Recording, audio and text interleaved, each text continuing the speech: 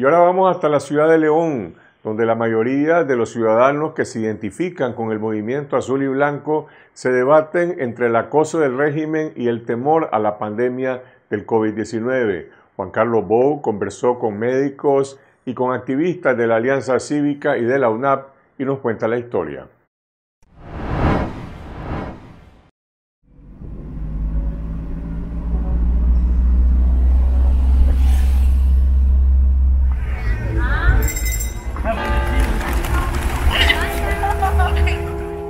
Departamento de León, los ciudadanos que cuestionan al régimen no asisten a las unidades de salud pública por temor a ser discriminados o apresados. El miedo a las represalias ha escalado tanto que algunos se plantean morir en casa ante un posible contagio y complicación por la COVID-19.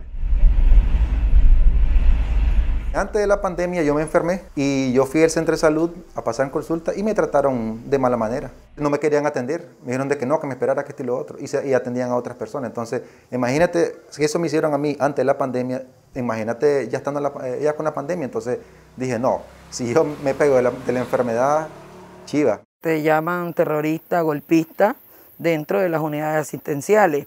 Y luego también que si sos un fuerte opositor al gobierno, pues ahí mismo, en vez de, tal vez recuperarte e irte para tu casa, puedas ir a la cárcel. El miedo o el temor va escalando de acuerdo a tu nivel de oposición que tenés ante el gobierno.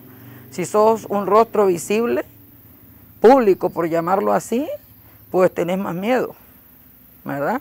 Cuando has mantenido un bajo perfil, el miedo es menor, pero igual decís, no voy, no voy porque sabemos que dentro de los hospitales eh, hay personas que sí son afines al gobierno y que no les importa denunciarte. A la que le decía, mire, tiene que irse al hospital, no, no voy, si me voy a morir, me muero en mi casa. La gente tiene miedo de ir a los hospitales públicos.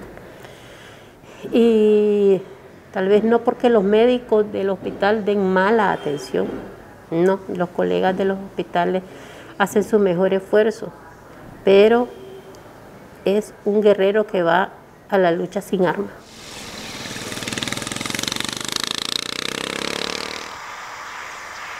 Ante la renuencia de atenderse en el sistema público, los opositores han recurrido a las consultas telefónicas o a través de la aplicación de WhatsApp. Las atenciones son brindadas por doctores miembros de la Unidad Médica Nicaragüense, el Comité Científico Multidisciplinario o profesionales privados. Nosotros tenemos que buscar por nuestra propia cuenta, con médicos amigos que tenemos, que tal vez ellos tienen la disponibilidad de ayudarnos en ese sentido. Nosotros tratamos como opositor cuidar entre nosotros mismos. Pues.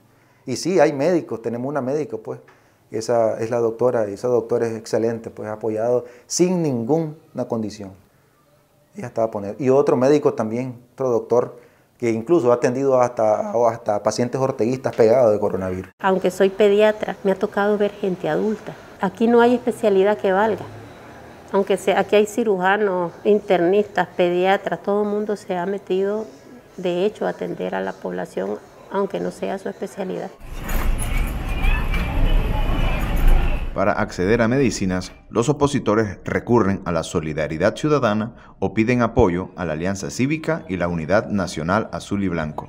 Se busca, se gestiona, tenemos un canal humanitario, hay un canal humanitario que es el que nos facilita este, algunos medicamentos, no en un 100%, porque recordemos que aquí nadie nos está financiando sino que esto se hace de colecta, de pedidos, apoyos que se reciben y están ahí las medicinas. En muchos casos hemos tenido que buscar cómo obtener el, tanque de oxígeno, porque muchos pues, se han tenido que oxigenar en su casa por la misma necesidad. Y pues en muchos casos creo que también por eso hemos muerto en nuestras casas, por no asistir a un centro médico. La mayoría se ha quedado en su casa por la misma situación. Oficialmente no existen cifras sobre la COVID-19 en León, pero el Independiente Observatorio Ciudadano coloca a este departamento de Occidente como el tercero en casos sospechosos y el cuarto en muertes asociadas a la pandemia. En sus últimos informes, el observatorio registra 744 casos sospechosos y 197 muertes vinculadas a la COVID-19. Esta semana solicitó información a los responsables del área COVID del Hospital Escuela Oscar Danilo Rosales Argüello, conocido como EODRA, pero las fuentes médicas se excusaron de hablar por temor a represalias. El área de COVID en todos los lugares ha sido un área bien restringida. Eh, la información de COVID es una información, como le digo, como que fuera un secreto de Estado. ¿Cuántos casos hay en el EODRA? No sabemos. ¿Cuántos muertos hubo en el EODRA? No sabemos. ¿Qué pasó exactamente? ¿Cuánto, ¿Con cuántos ventiladores se contaba? No sabemos, porque no se podía, o sea, las personas que estaban dentro del área de COVID no podían hablar. Son personas que, que si hablaban eran corridos. A pesar del secretismo dentro del sistema público, los leoneses han sufrido las muertes por la COVID-19 en sus familias. Luis Fonseca perdió a una prima de 55 años y un primo de 68 años, contagiados con el coronavirus. Ambos murieron a finales de julio y eran simpatizantes del Frente Sandinista. Ella trabajaba en el área de contabilidad, ella laboró como 35 años en la alcaldía y, quedó, pues se pegó del coronavirus y murió de esa enfermedad. Antes, durante y después no tomaron nada de medida. Es decir, mi, mi prima murió y siempre ellos andaban ahí como si no había nada sin mascarilla, estilo otro. Entonces, considero pues de que este, nunca tomaron medidas. La paciente fue hospitalizada inicialmente en el EODRA, pero se complicó y fue trasladada al Hospital Alemán Nicaragüense en Managua. Estuvo 15 días internada.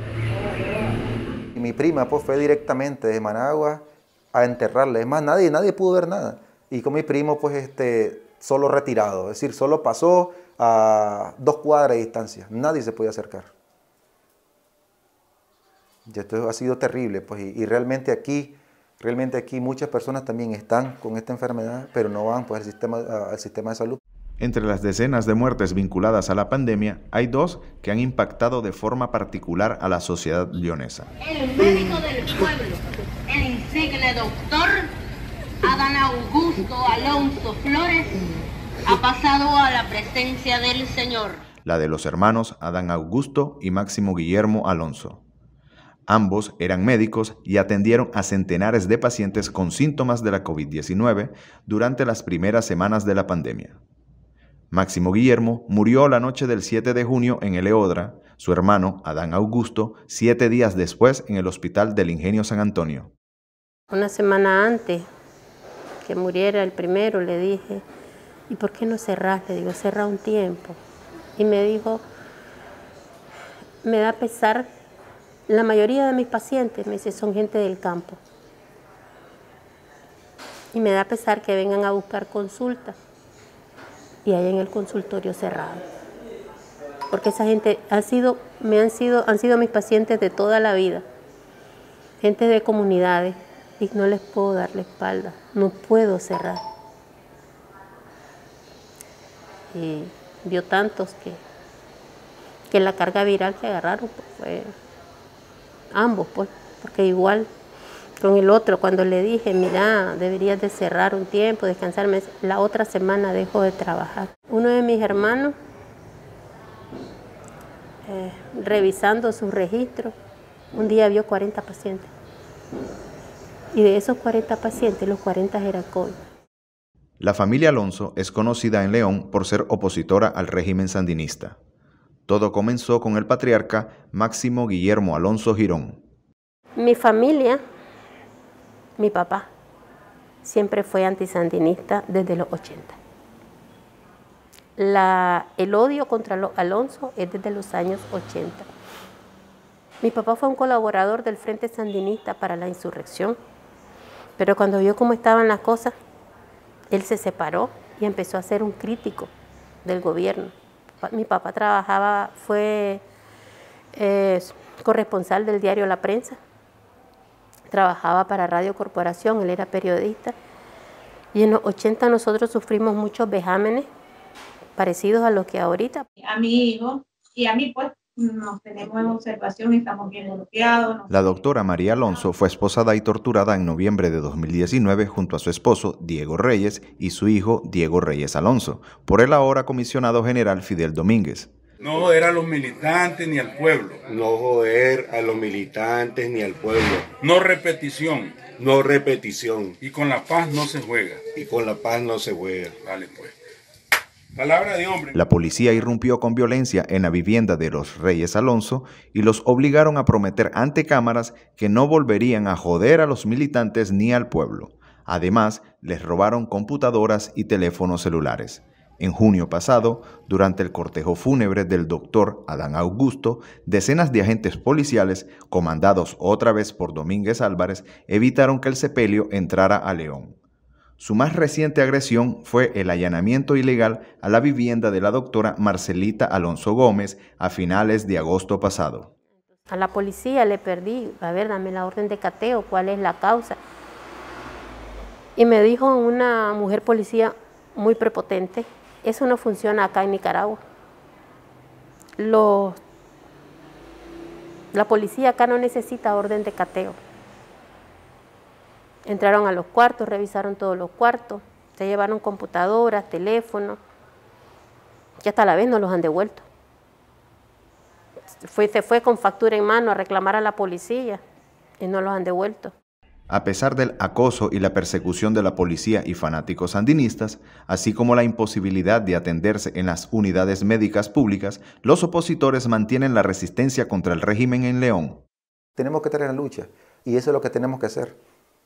Ya estamos en esto, ya hemos pasado barbaridades de cosas, me imagino que vamos a seguir pasando peores, pero yo creo de que el que se mantiene en la verdad, en la justicia, el que camina con Dios, yo creo de que todo, todo pues va, va a salir adelante. En memoria de mi padre y en memoria de mi hermano y por convicción propia, no, no puedo, no puedo decir voy a dejar de, de, de, ser opositor, porque es eso, digamos, algo que ya lo llevo muy adentro. No podría dejar de ser opositor. Va a seguir el acoso probablemente y me está costando.